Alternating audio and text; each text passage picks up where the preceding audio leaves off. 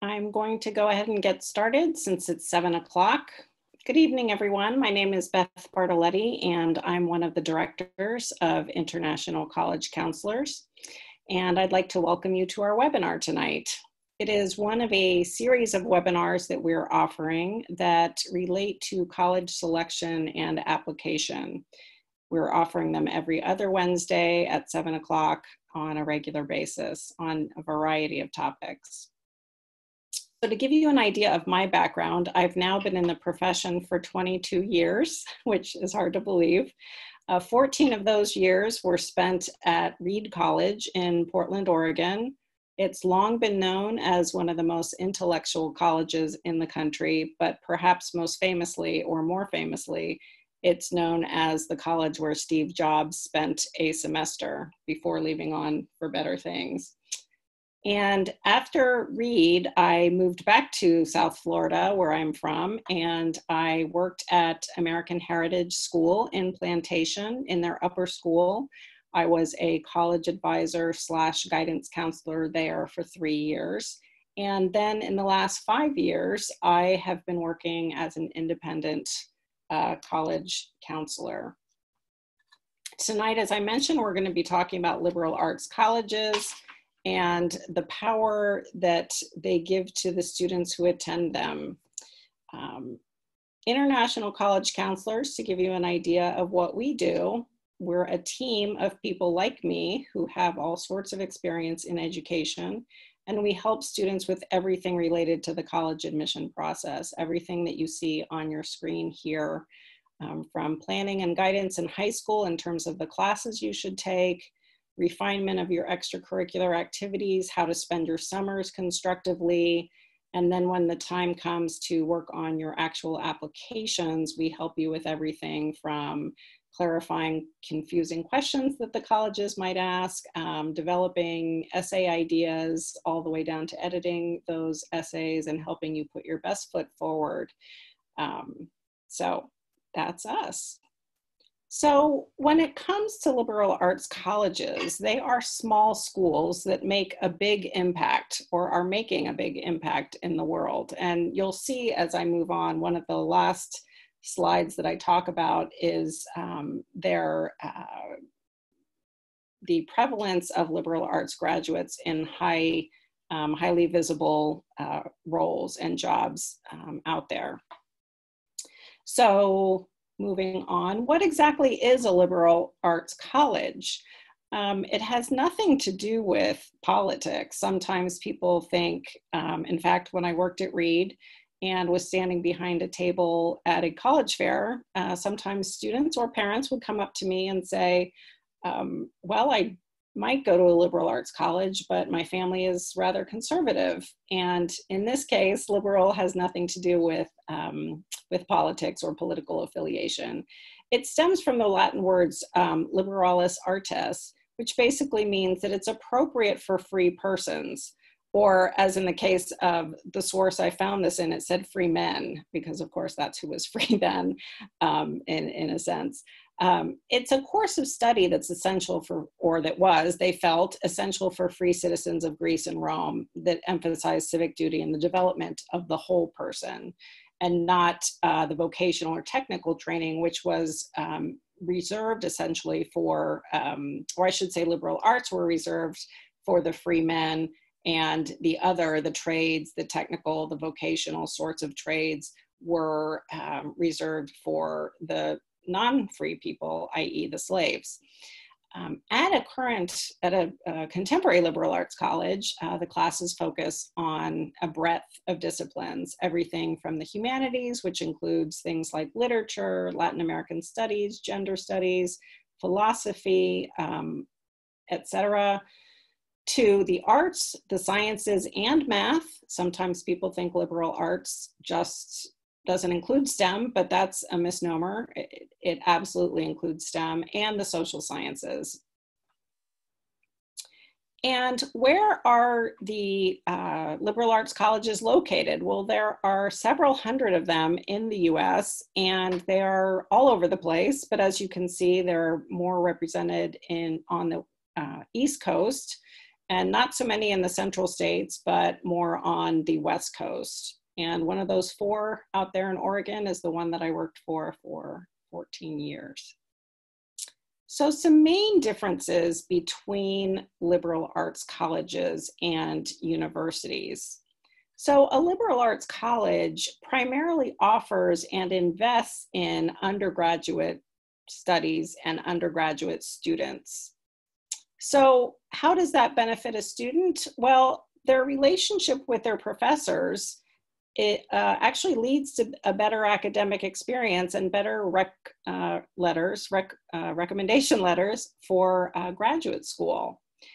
The liberal arts colleges tend to have, or will have, not tend to have, a lower number of students, a smaller student body. Uh, your typical liberal arts college has about 2,000 to 2,500 students. Some have more, maybe 4,000 students but I would say in general, maybe 25 is the average, 2,500. Reed had 1,400, our average class size was 14. So with those smaller class sizes, you actually have discussion-based classes as opposed to lecture-based classes, which again means more easy access to the professors and fewer TAs. Now, for any students or parents who haven't been to a traditional university. TAs are teaching assistants or GAs, graduate assistants, and those are graduate students who are being paid to as part of their graduate studies or to help fund their graduate studies to uh, teach generally the introduction, the intro uh, sections to a particular um, subject area like biology or math or um, uh, psychology. So the professor wouldn't necessarily teach those entry level classes or those freshman intro classes. It's often a TA is teaching those classes, but at a liberal arts college, there aren't any graduate students, and that benefits the undergraduate students in many ways, which you'll begin to see as I talk more.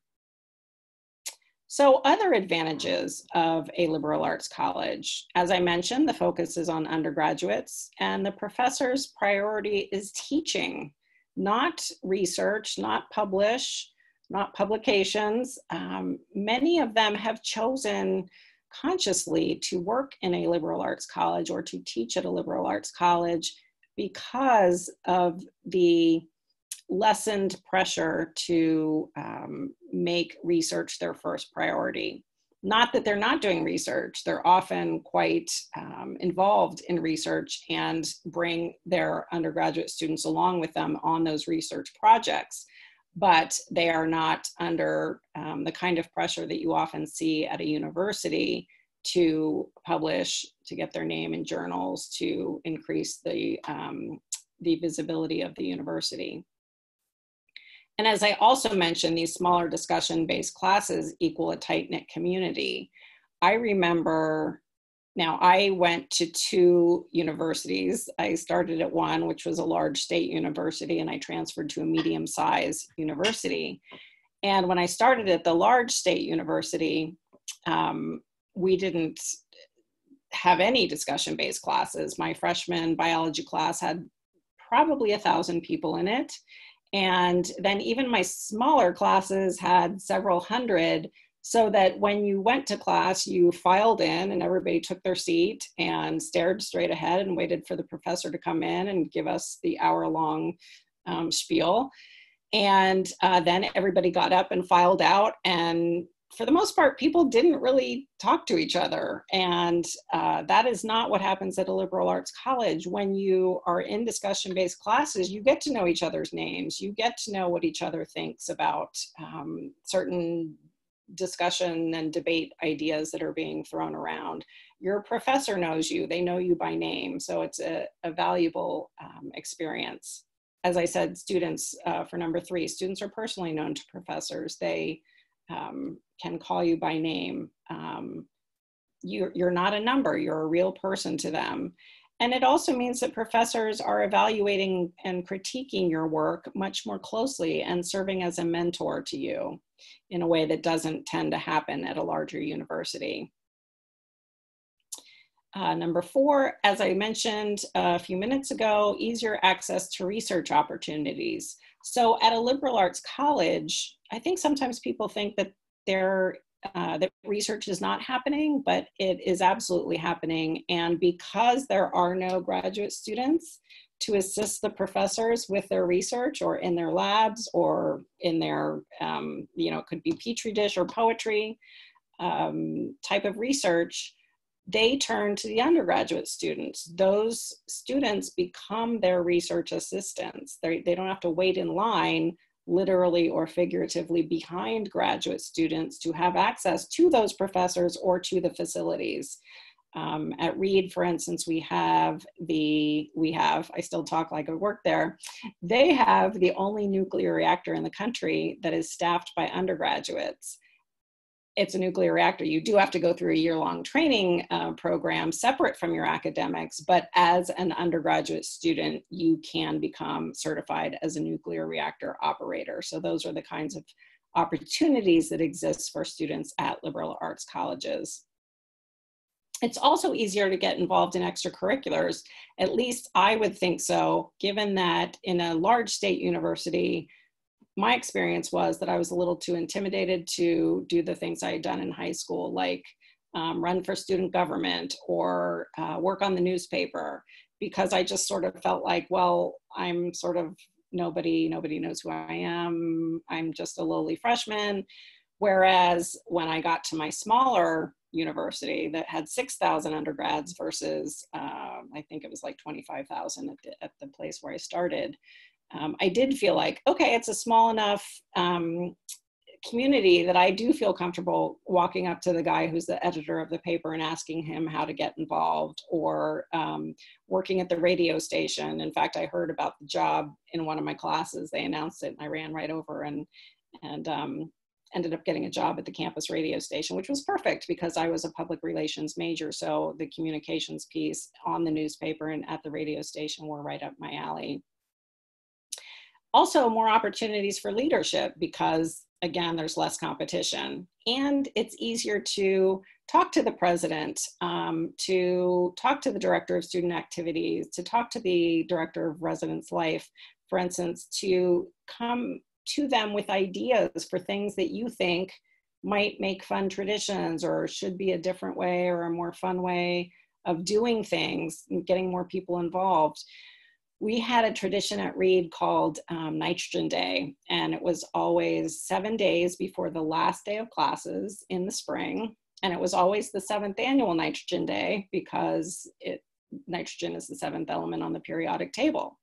And uh, that was actually started by somebody who still worked at Reed at, um, in the registrar's office later, but he had started it back in the 80s. And here it was when I was there, um, you know, 20 years later and they were still doing it because ben had had this idea and it was kind of silly and ridiculous and um, but but intellectual at the same time.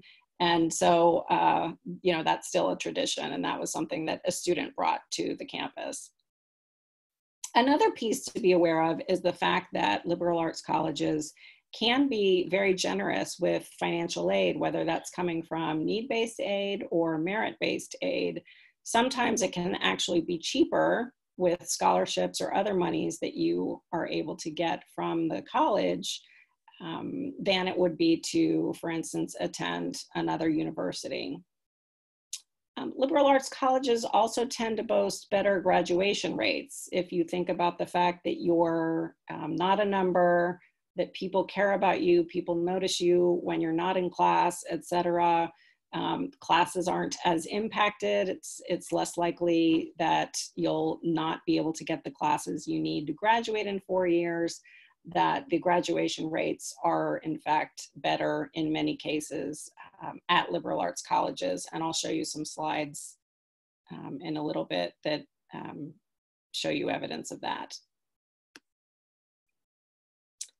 So I already mentioned the discussion-based uh, classes, and just a little more about those. The, uh, the, classes are taught in the Socratic method, which is obviously named after uh, the Greek philosopher Socrates.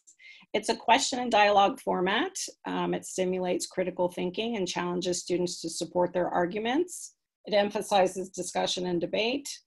And it's very different from that passive learning that happens when you, as I mentioned, file into the classroom, sit in the balcony of the auditorium, and you know can't even see your professor without a set of binoculars, which literally was was my my situation um, at the state university.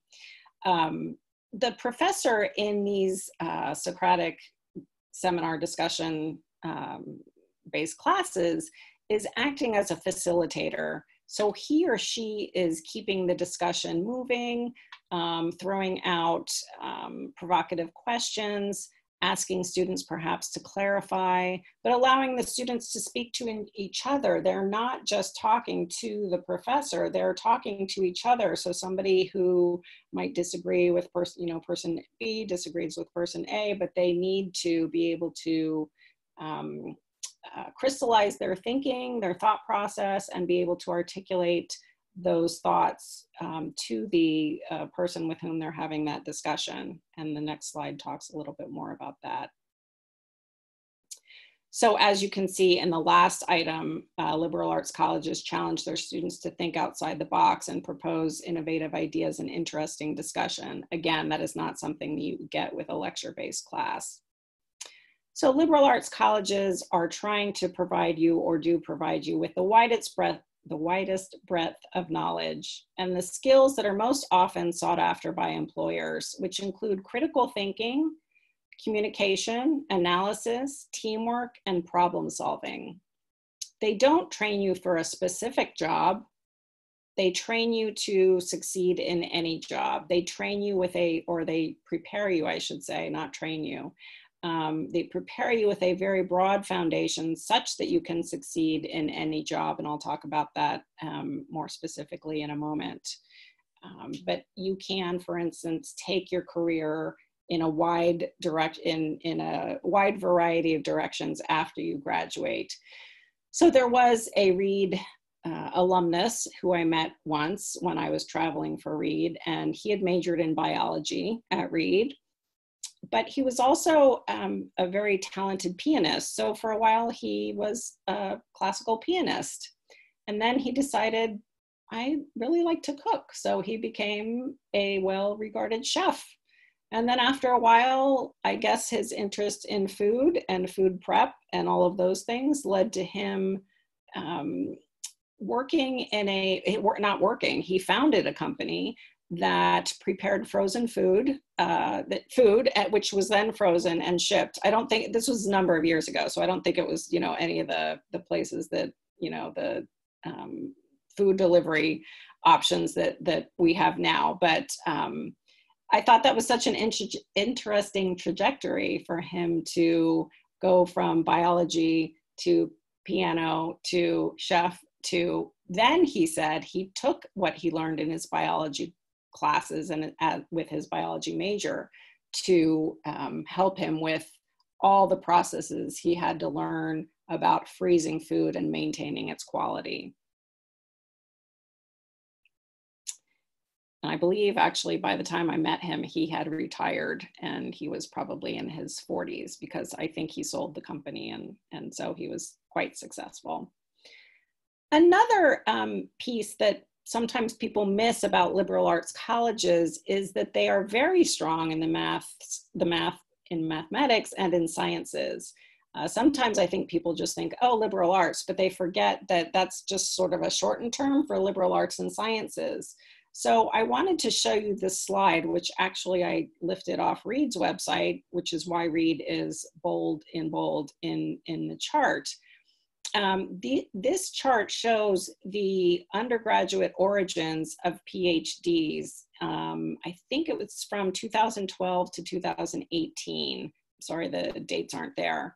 But you can see that in the life sciences, the first two columns on the left, um, we've got Reed, Swarthmore, Carleton, Grinnell, Haverford, Harvey Mudd, and Pomona. So that is one, two, three, four, five, six, seven um, colleges in the top 10 that are liberal arts colleges um, that produce future PhDs in the life sciences. And then in the physical sciences, I believe there are six. We've got Reed, Harvey Mudd, Carleton, Swarthmore, Haverford, Wabash, and Grinnell. Uh, actually, one, two, three, four, five, six, seven. So seven again. I had actually miscounted that at the beginning uh, when I was doing this. But you can also see that they are great, liberal arts colleges are great um, places to start for students who are looking to go into, um, you know, who want to pursue a PhD because you can see the other um, psychology, other social sciences, and humanities are also up there with um, uh, in the in the rankings. So when somebody says to me, "What can I do with a liberal arts degree?" I say, "Anything you want." And just to give you some evidence, I'm going to show you a few notable alumni from liberal arts colleges. You can see these yourself. Um, some of these are names that are known to you, maybe others aren't, like Vivian Schiller, the CEO of NPR, um, came from Middlebury. Michael Eisner, who used to be the CEO of Disney, and Steve Carell, we all know and love Steve Carell, Denison, Jon Stewart, College of William and Mary, etc. So we have uh, represented here Sarah Lawrence, Franklin and Marshall, Wellesley, also of course Hillary Clinton famously attended Wellesley, Gabby Giffords went to Scripps, and the founder and CEO of Netflix went to Bowdoin. I think a lot of people sometimes wonder how you say Bowdoin. The O is silent in Bowdoin. And the next slide has more um, notable alumni. So, CEO of Home Depot. Um, everybody knows uh, Meryl Streep, of course. She went to Vassar. Burger King, Denison. I, I wonder if um, Denison actually has a um, Burger King in their food court. They must. Uh, the CEO of Cantor Fitzgerald went to Haverford. Uh, we have Ben and Jerry's represented um, by Oberlin. Uh, Johnny Carson, for the older generation among us, maybe and hopefully the kids know who he is. Uh, he went to Millsaps, which is in Mississippi, and of course George, Steinbrenner went to Williams. So this is very a very abbreviated list, but I just wanted to, I mean, you look at the different careers that everybody um, on these lists went into, um, but notably a lot of them are founders and CEOs or uh, very, you know, very successful in their fields. So as I mentioned earlier, uh, the liberal arts um, program or the liberal arts themselves are um, a practical education for a shifting global economy. They teach what the employers are looking for. They teach those, I'm not, I'm not necessarily sure I would call them soft skills, but they're certainly ne necessary skills. Uh, communication skills, analytical skills, the ability to work in a team, technical skills, and a strong work ethic. And you can see too, the average starting salary is not terrific, it's not bad, um, but it's um, it it it's there's I'll show you a slide at the end of the the um, webinar that points out that it's a slow start for the first 10 years, but then it multiplies um, in a major way uh, at when you're um, older and you've been in your career for a number of years. So next slide.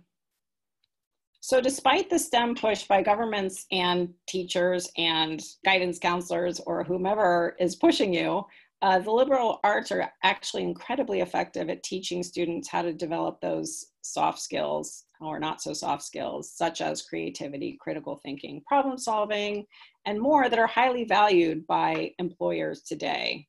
And they can open the doors to a wide range of jobs.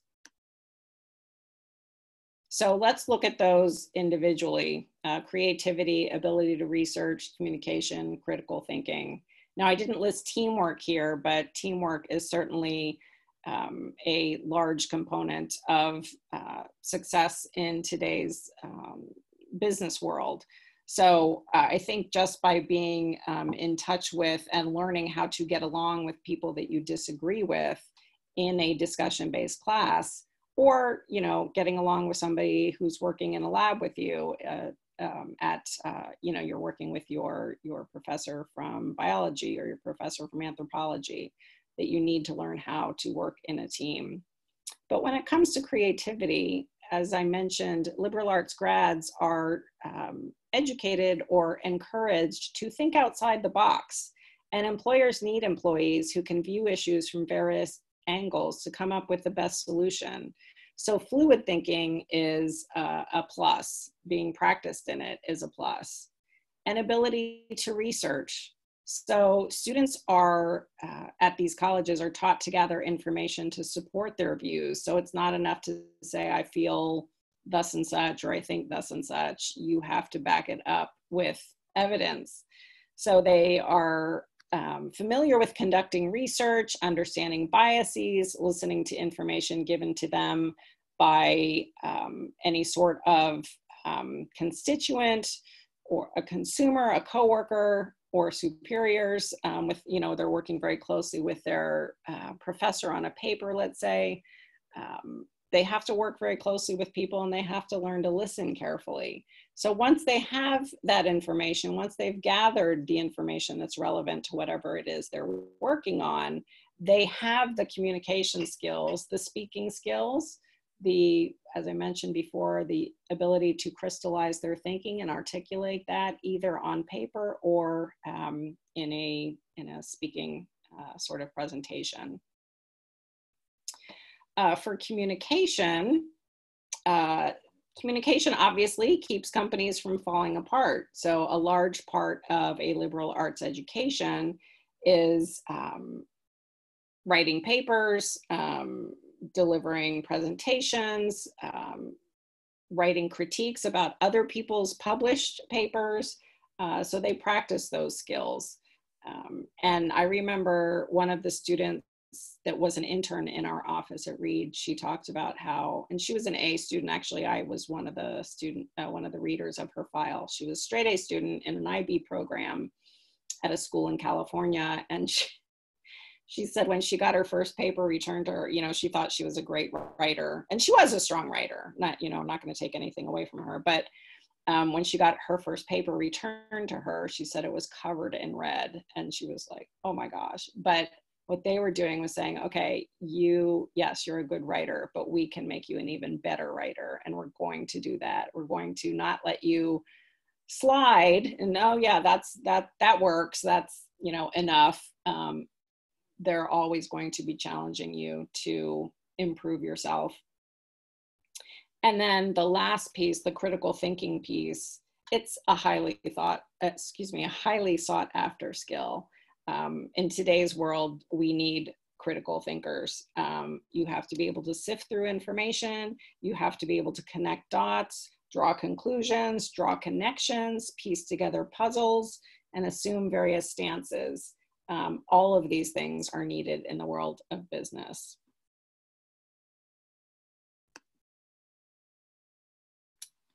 Other reasons that employers want to hire liberal arts graduates, because while science can teach us how to build things, it's the humanities that teach us what to build and why. Without those skills, the technical skills are of limited use. So instead of just, we're not gonna just throw something, some building up because we know how to build it. We need to figure out why are we building this and um, what needs to be built in this space. A little bit more evidence. Um, the president of Microsoft and the executive vice president of AI and research at Microsoft wrote in their 2018 book, and he's using um, artificial intelligence as the um, guinea pig here, if you will. So it's not enough that we know how AI or artificial intelligence works. We need to be able to guide that artificial intelligence such that when these decision making um, capabilities are handed over to technology, that there's a human component to those. We need to be able to guide those um, that that turning over of that power um, carefully. Um, we need to tech companies need to work with governments and academia to determine the best ways to overcome the potential dangers inherent of handing over aspects of our lives um, to computers that mimic human thought.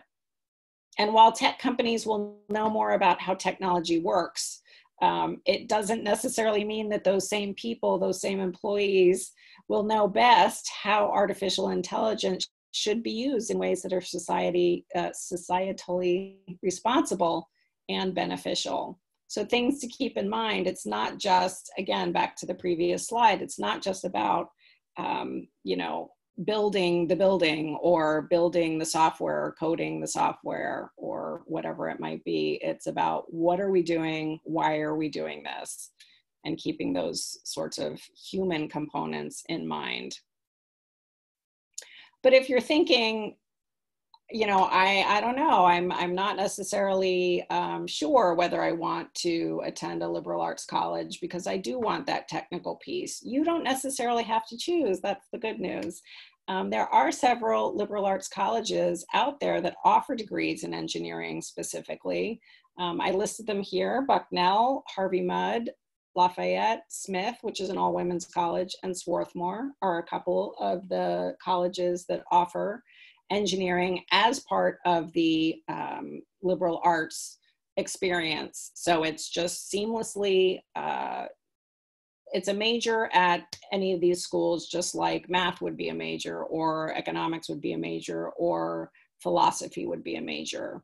So you take your liberal arts um, as part of your your um, you know foundation, and then the engineering is your major. If someone else is majoring in um, uh, language, Russian, uh, then they would take their liberal arts foundation and then they would study Russian and Russian literature.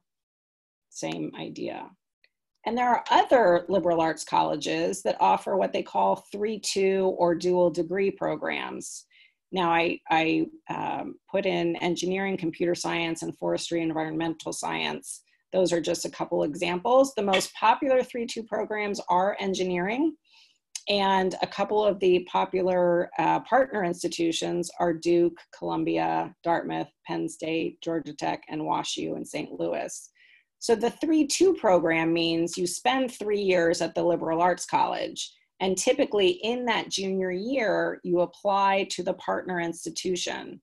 So you apply to Duke or you apply to Columbia or you apply to RPI, Rensselaer Polytechnic Institute, um, as a person who is going to finish that 3-2 program at that partner institution. So Reed used to, when I was there, have a partnership with um, Columbia, Caltech, and um, I believe it was Rensselaer Polytechnic Institute in engineering. Um, and they had a partnership with the University of Washington um, with computer science. Um, it doesn't look like they offer the computer science one anymore, but there are other uh, liberal arts colleges that do offer computer science in a 3-2 program. And um, Duke actually offers the uh, forestry environmental science two-year piece. So if somebody wants to do that, but they want the liberal arts background, uh, that is most often sought after at Duke. So you don't have to decide. You get the best of both worlds. So if that's not enough um, evidence, I'd like to take a look at outcomes from liberal arts colleges. Uh, although liberal arts colleges educate about 3 to 4% of US college graduates, the alumni of liberal arts colleges account for 27% of all US presidents. They're also responsible for educating 20% of Pulitzer Prize winners from 1960 to 1998 and 1 in 12 of the nation's wealthiest CEOs. And uh, so these are small colleges making a large impact or small numbers with a big impact. So only 4% on this uh, slide, as you can see, are represented as liberal arts alumni, and yet they've produced 9% of Fortune 500 CEOs, 23% of US educated Nobel laureates, and two uh, liberal arts colleges are in the top 10 of uh, the top 10 US colleges. Uh, and those two are um, who have produced uh, Nobel laureates. And those two are Swarthmore and Amherst. As I mentioned, 27% of US presidents, and then uh, 14% of Harvard uh, tenured law professors. So now I'd like to revisit the graduation rate that I mentioned earlier. Um, note at the heading of this slide that the national average graduation rate in four years is only 33%. Now we're including all universities in this, in this number. Um, so everything from not for-profit colleges, but uh, you know everything across the spectrum. But it is pretty low. Um, so persistence can be a problem in terms of finishing that degree. And notice that the schools that I have listed on this slide are not liberal arts colleges, but they are what are often, um, some of them, not all of them, are uh, thought of as public Ivies like the University of Virginia and the University of Michigan and Berkeley and uh, UT Austin. And then I threw in some Florida schools because I'm, we're here in Florida. Um, but just to give you an idea of the percentage of students graduating in four years. Now, these percentages go up significantly if you stretch it out to six years. But as I used to say uh, in my information sessions for Reed, um, six years of time, you know, time spent in school means two extra years of tuition and fees for the parents. So looking at this figure, you want to be almost guaranteed that I can finish in four years if that's what I want, if that's the plan. My brother was an engineering major. It was a five year plan. I mean, consciously, that's they they needed to spend five years doing that. Um, but if it's you know i'm planning to go in and spend four years and then move on to um, graduate school or do whatever i'm going to do liberal arts colleges are going to be a better um, a better bet. So take a look at these. Notice that the highest um, graduation rate from one of the public Ivies is 88%. And if we move to the next slide, I selected some top tier liberal arts colleges on the East Coast and look at their graduation rates, uh, we've got 90, 91, 89. I put them in order of, um, of uh, you know, highest to lowest. But also look at their admit rates. So a lot of times people will say about liberal arts colleges, I've never heard of this school. And when I worked at American Heritage, we used to correct the students because that sounds a little a little rude to say to a college admission uh, rep, I've never heard of your school. So we taught them or tried to teach them to say, I'm not familiar with Bowdoin College. Could you please tell me more about it?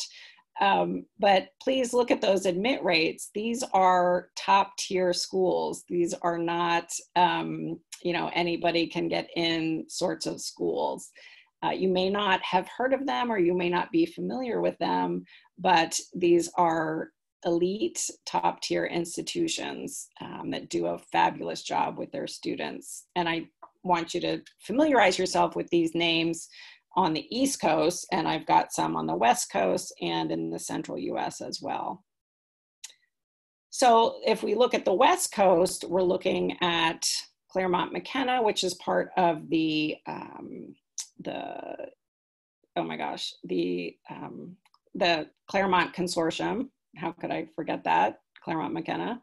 Um, also part of that consortium are um, Harvey Mudd, Scripps, which is all women, Pomona, and Pitzer. They're all on my list here.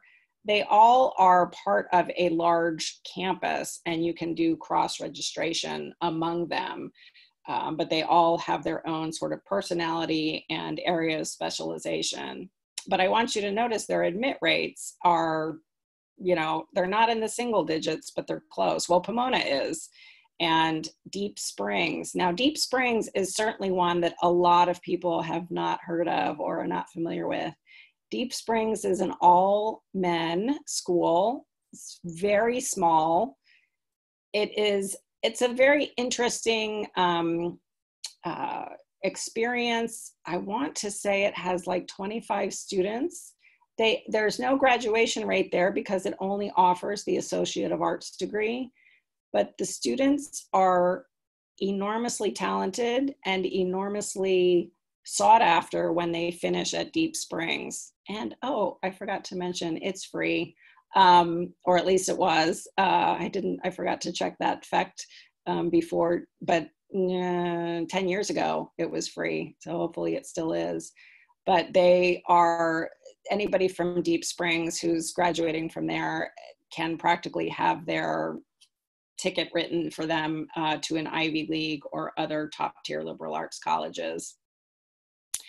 Um, one of the other interesting things about Deep Springs is that the students all serve as the admission committee for the next class coming in. So it's a very interesting experiment uh, not experiment experience and i encourage you if that sounds like something you'd be interested in it's in california um, so check that out.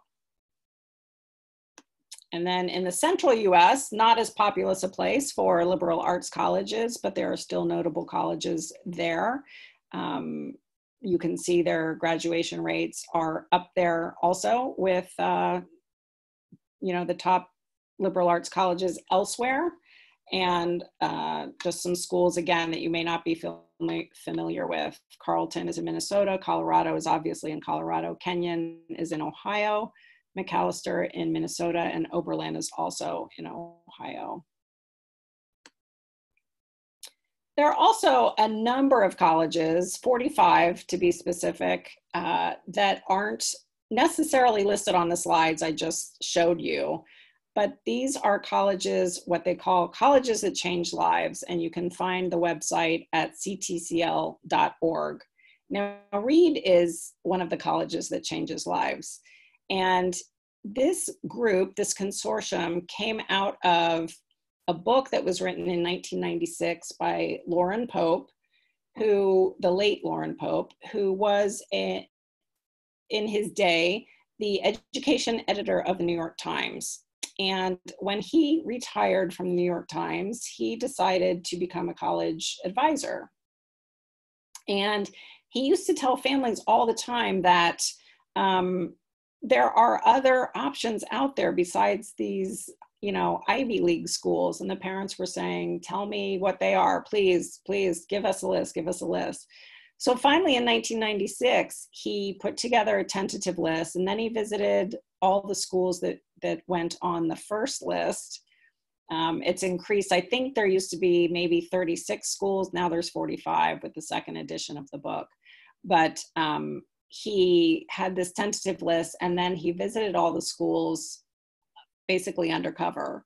And he spoke to everybody he could at these colleges the students, the faculty, the staff, the janitors, the groundskeepers, um, more students, alumni, etc. And he determined that these were colleges that weren't necessarily so selective that they were taking only the best and only the brightest, but student, but colleges that weren't nearly as selective, but were doing great things with their students during their time there. And their explanation for it or their the analogy they used was if we measured hospitals by the quality of um, health of the patients coming in, that wouldn't make any sense. It's the quality of the health of the patients when they leave.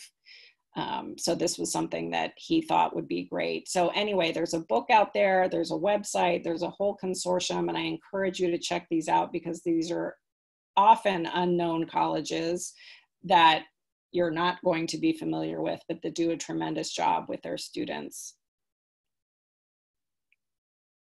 And perhaps on an even more practical note, if you go to a liberal arts college, you'll make more money. So let me, that was um, a recent, uh, practically last month, five weeks ago, um, article in um, uh, Forbes now this slide I took, this graphic I took from a different source. Um, it came from the Georgetown University Center on Education and uh, in the workforce. That's right, I couldn't read it. Um, but it shows that, as I said, a liberal arts college, so at the 10 year mark, as I mentioned earlier, the median is going to be 62,000 for a student, whereas if we're looking at all institutions, it's 107. But at the 40 year mark, so at the point when you're in your early 60s and perhaps getting ready to retire, the return on your investment is more than $900,000 as opposed to all other colleges where you're looking at $723,000. So even more close to, but still more than those are four-year engineering and technical related schools. So in conclusion, I'd like to say that there will always be a demand in business for people who are good commun communicators, problem solvers, and free thinkers. So I encourage you to consider a liberal arts college. Now, if you have any questions, I'll go to the, the list of questions, so feel free to add questions um, if you have them. I'm also going to um, look at, okay, what, uh, oh, also wanted to tell you that if you have any questions about what I, uh, what I was talking about tonight or any questions about needing help in the, um, with the college admission process for yourself, for your friends, for your granddaughter, for your um, son or daughter, I'd be happy to help you. you can see my contact information there on the screen. I've been to I've been to a number of colleges. I've visited a number of these, um, and uh, I can can tell you certainly about them. Let's see. I've got a question coming up. Will you send us the slides? Yes. If you are on the the webinar, we will be sending the slides and the the webinar to the participants and also to anybody who signed up but was not able to join us tonight. Uh, let's see, I have some other questions here. Um, let's see. Oh, I already answered the one about uh, political um, affiliation um, and about uh, what about engineering? Can I do engineering at a liberal arts college? Oh, someone asked, um, what do liberal arts colleges look for in uh, their applicants? So it's really no different from what a regular college would look at. Well, I shouldn't say that. I should, generally speaking, yes, they're certainly looking for strong preparation in uh, high school in terms of the rigorous coursework you take, um, strong grades, strong writing, etc. Some universities don't even ask for an essay, so they really don't have an idea of how your um, writing abilities are.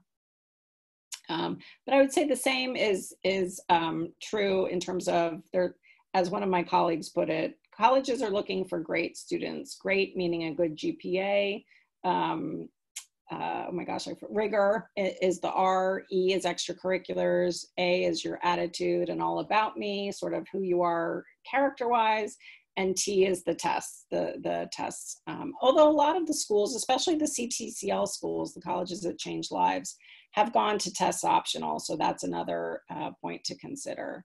But I would say that the liberal arts colleges being smaller and recruiting a smaller class naturally get fewer applications, relatively speaking, relative to their size, but that allows them to do a more holistic read of the file than um, a college, a larger college would, where it's sometimes literally just your GPA and your test scores that they're looking at. Okay, I had another question coming up. Let's see. Um, Yes, so actually this was another question, thank you. Um, if a student is interested in a medical career or doctor, what path would they take at a liberal arts college? Again, back to the anything you want. Um, whether you're going to a liberal arts college or a traditional university, you can major in anything you want to. What you want to make sure of is that you take the classes that are typically considered prerequisites for medical school, which includes organic chemistry, regular chemistry, physics, calculus, uh, biology, naturally biology. I think sometimes people think that you have to major in biology if you're going to medical school, but I attended a panel at Reed that was, um, it was medical school admission personnel who came from the medical school uh, at Oregon Health Sciences University to speak to our students. And one of the panelists said, if you major in biology, you will be completely bored in, in medical school because you'll be doing more biology. So you can major in religion, philosophy, math, um, English, whatever you want to, as long as you get those prerequisites that I mentioned. So pre-med in and of itself is not a major. It is uh, an advising path, if you will. It is how do I use my electives such that I will be um, a, an attractive candidate for medical school. But I looked up in anticipation of this question, I looked up the colleges that, or, or colleges that are most frequently attended liberal arts colleges before medical school, or that most often send uh, graduates to medical school. And it included Williams, Amherst, Swarthmore, Wellesley, Bowdoin, Carleton, Middlebury, and Pomona. Uh, so you know, again, back to the uh, small class sizes, the ability to engage in research with your professor or professors, the ability to get meaningful, um, substantial, substantive uh, letters of recommendation from your professors, I think make a world of difference when you're considering uh, medical school. So any other questions? I don't see any other questions. I appreciate so much your time spent with me. Oh, oh, somebody said thank you. So you're welcome. I enjoyed um, pre presenting to you tonight, telling you what I know about liberal arts colleges and why they can be the best place for your student. And hope that you'll get in touch if you have other questions about liberal arts colleges or applying to college in general. Thank you for your time and have a great evening.